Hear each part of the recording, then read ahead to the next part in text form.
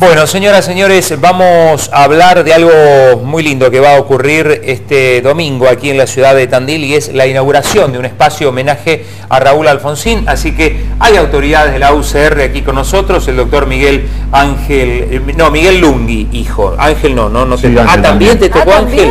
Es completo. Ah, ah, completo, o sea, Miguel Ángel no, Miguel Ángel Lungui, no hijo. tenía sentido. que Si lo hacemos, lo hacemos completo. ¿eh? Así lo hice yo también, Eh, Ah, ah, vos también. por supuesto. Ah, ¿con tu hijo? Sí. Ah, mira. Y mira. sí. Qué carga, qué peso.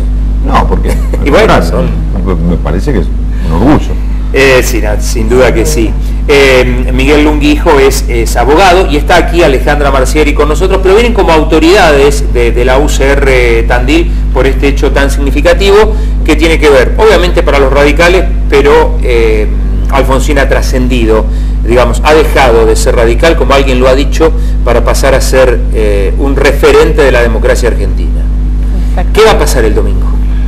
Bueno, el domingo, eh, al cumplirse 10 años del fallecimiento de- del doctor Alfonsín, eh, vamos a estar inaugurando, eh, luego de haber solicitado a fines del 2018 eh, al Consejo Deliberante eh, la utilización del espacio público que salió por ordenanza, votada por unanimidad, eh, nos cedieron eh, la posibilidad de hacer una obra civil eh, en lo que es Alviar y, y Ascuénaga o Avellaneda y Alviar, en donde no solamente se va a estar descubriendo un busto en homenaje y en reconocimiento a la figura del expresidente, sino de que a su vez va a contar con otras cuestiones. La plaza es la plaza donde se encontraba la carreta, la carreta fue trasladada al lado del molino, en el dique, enfrente de Villonera, eh, en donde bueno, buscamos eh, reconocer, reivindicar la figura del doctor Alfonsín y, los valores que no solamente como como usted decía Claudio, nos transmitió a los radicales, sino a que la sociedad toda. Eh, luego de más de 35 años de democracia, creemos que es importante recordarlo y, y bueno, y ahora que se acercan los 10 años de fallecimiento del doctor, lamentablemente de su pérdida, el comité encaró esta obra civil eh, con el permiso correspondiente y bueno, vamos a estar homenajeándolo a partir de las 17 horas este domingo. Alejandra, ¿qué nos podés contar de la obra en sí?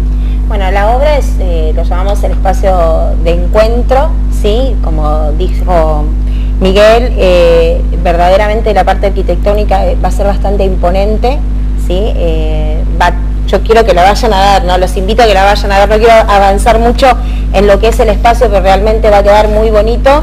Este, y bueno, eh, va a representar eh, tres pilares fundamentales de la democracia que tiene que ver con la democracia misma, la libertad y La eh, república. la república.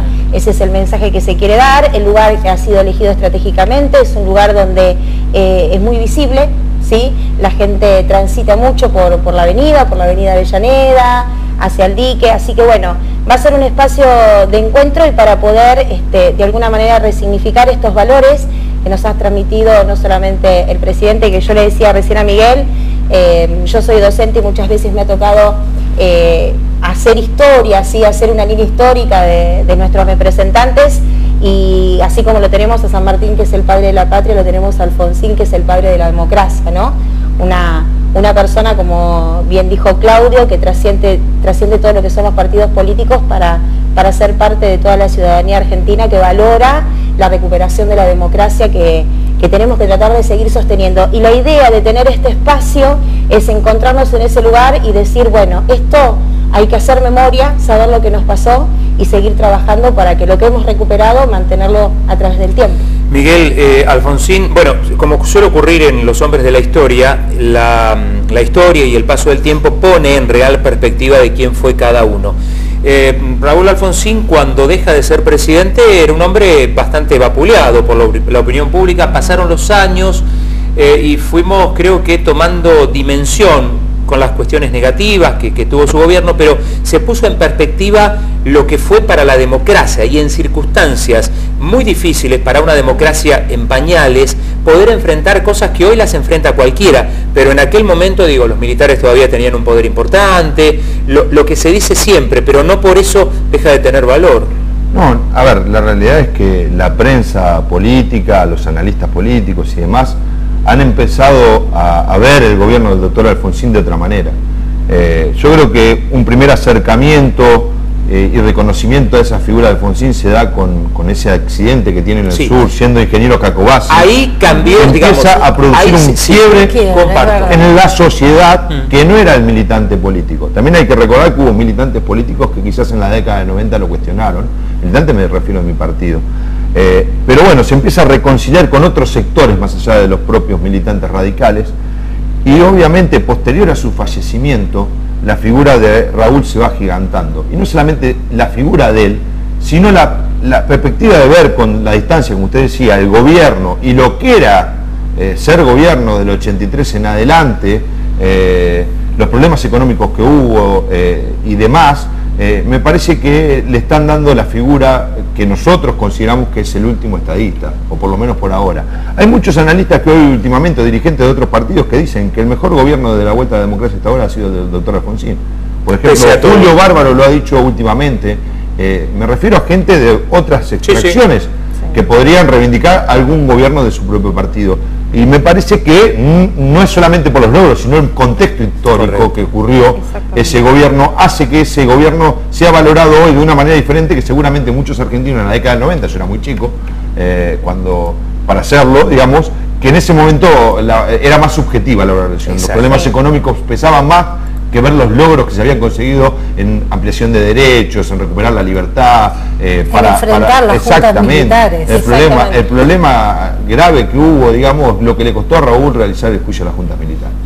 No nos olvidemos, perdón, que el 15 de diciembre del 83 se creó la CONADEP, que era la comisión que investigaba la- eh, los desaparecidos, que, que era la encargada de revisar todo esto. Y era un contexto eh, difícil en esa época, que luego terminó con, obviamente con el juicio a las juntas. Eh, volvamos a este domingo, a, a la presentación de, esta, de este- esta plaza de encuentro. Han invitado autoridades de otros lugares, vendrá el hijo, lo invitaron, ¿Cómo? cuéntenos. Ah, Hay muchas actividades debido a los 10 años, digamos. Ricardo tiene una actividad en Chascomús a las 11 de la mañana. La realidad es que el radicalismo en los diferentes distritos, a nivel provincial, a nivel nacional, eh, se hacen actividades. En Perdón. Ricardo tiene una actividad en Recoleta a las 11 de la mañana. Eh, pero a la tarde tiene que estar en Chascomús porque se hace una presentación. Eh, la realidad es que los comités vecinos de distritos cercanos, eh, obviamente están anoticiados, pero también tienen sus propias actividades. Esto es un acto y un reconocimiento de los tandilenses, de los radicales hacia la ciudadanía de Tandil que se quiera sumar, digamos, no de los radicales hacia Alfonsín solamente, sino de los tandilenses, creo yo, eh, empujamos nosotros, pero la idea es que cualquier ciudadano que se sienta representado en la figura y en los valores y principios del doctor Alfonsín eh, nos acompañe a partir de las 5 de la tarde y tome como propio esto, que obviamente una vez que termina forma a ser parte del patrimonio municipal. Eh, Alvear y Avellaneda a las 17 el próximo domingo. Sí. Miguel, sí, muchas gracias. Alejandra, muchas gracias. No sé si quedaba algo. No, Ceci. digo que hasta este, el- el- el- la punta de eso, el espacio físico, hace que sea un encuentro, es muy simbólico, digo, esas simbólico. calles me dan, digo, si tengo que pensar en un encuentro, sería un lugar así, en forma donde dos calles se encuentren en, en- en un espacio. Más ¿no? Avellaneda 3, Claro, podría decir, y la salida Ah, de. Rodríguez. Sí, sí. La realidad es que el que lo pensó, que sabemos quién es, eh, bueno, por eso es distinto en algunas cuestiones, piensa esas cosas. Es una Eh, esquina de cinco, cinco esquinas, si no me equivoco. Exacto. ¿no? Eh, gracias ambos. No, por favor, por ustedes. favor. Alejandra. Marcieri y el doctor Miguel Ángel Lungui, hijo, charlando con nosotros.